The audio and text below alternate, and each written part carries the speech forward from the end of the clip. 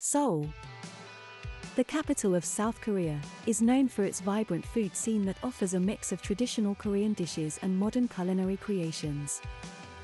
Here are three must try foods when visiting Seoul. Number 1 Kimchi.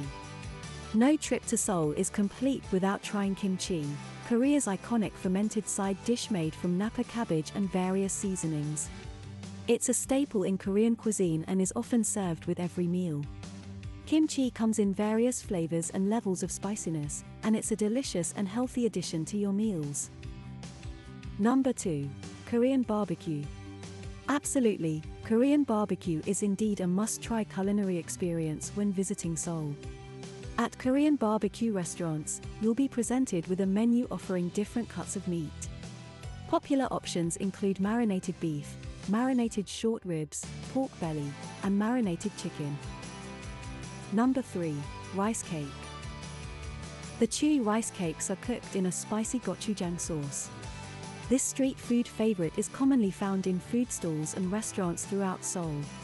Tteokbokki can also include fish cakes, boiled eggs, and vegetables, making it a hearty and satisfying dish. Seoul offers a wide range of delicious foods to try. These three foods offer a mix of traditional Korean flavors and modern culinary trends, giving you a glimpse into the vibrant food scene of Seoul.